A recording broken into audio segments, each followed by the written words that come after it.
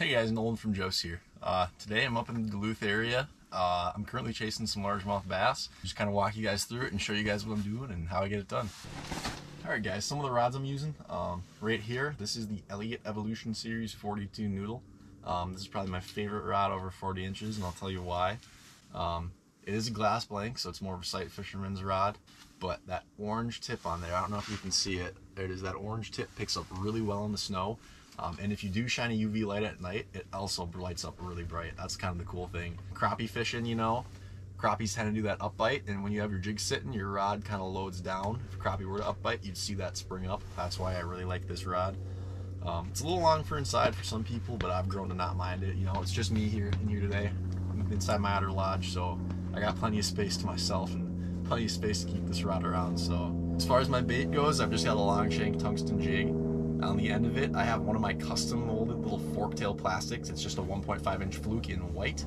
Um, and I think that's going to be the tick of the day. If this doesn't work, I have a Paragon from Elliott, which is a 32 light solid carbon blank. Um, and on that, I have a tungsten jig with a waxworm, and that is a short shank hook. So the smallest size hook clam makes actually. I forget the name, but it's the smallest one they make in gold. Both these jigs are in gold. All right, we'll take you outside the house and get that finicky fooler set up. Hey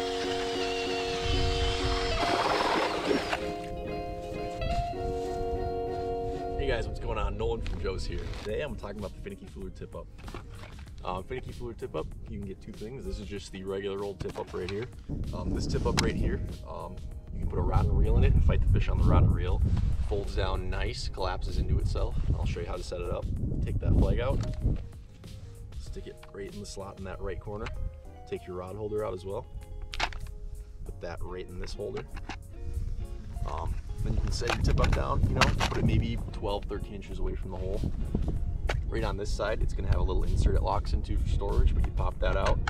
There you go. Then grab whatever rod you want of choice. For me, I'm using a 2B Deadstik. That is a 32 medium light. Perfect for small walleye bass, that sort of thing. Um, I have six pound straight fluoro on here. It is a pretty windy day and there's a lot of powder on the ice. So I'm gonna put my hole cover in um, just to kind of keep that extra snow out of the hole. I'll do that right now too.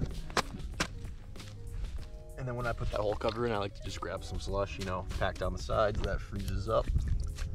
That way, no wind is locking that guy away. Um, and then I just have one split shot about eight inches up on that setup as well. Um, for my bait of choice, I'm just gonna use a fathead minnow.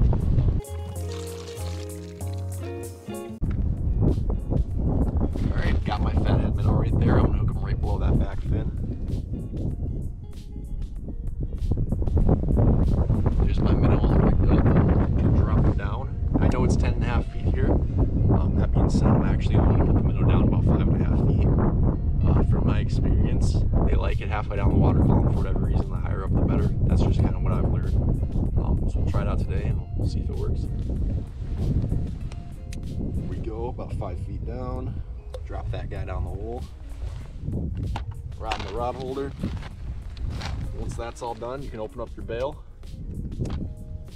Take your line. All you got to do is tuck it right under that leather. Grab your flag, put it on that little appendage hanging off, and you're all set. Just put the lid to your hole cover on if you have your hole cover. No snow's getting in there. Fish bites, flag pops up, and you're good to go. Um, if you're interested in buying a finicky fooler or want to check one out, go to Joe's Sporting Goods in Little Canada, Minnesota. We got a great selection of the hook setters and the non-hook setters like this one.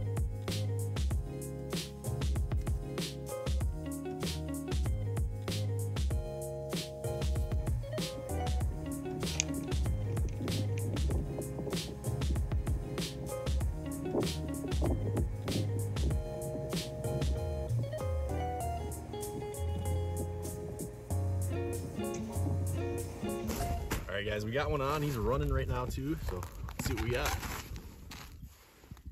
There we go. Let's see what we got on there. But we'll see. Barely moving. Barely fighting. I don't know if I hooked him weird or see if we can get him up.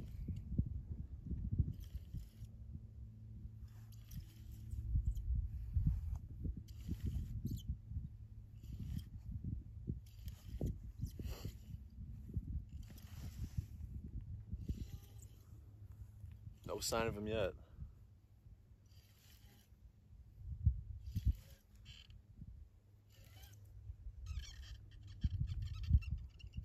See a stack of weeds with him. No!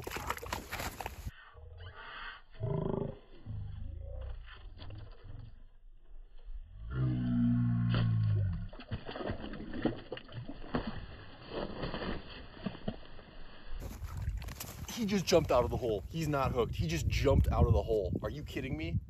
Did you just see that? Oh my goodness. Well, there you have it, guys. One little snake just projectiled out of the hole on me. All right, see you, buddy.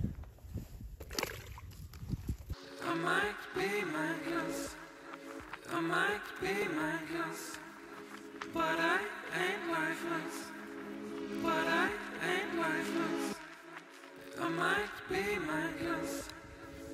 might be mindless, but I ain't lifeless, but I ain't lifeless.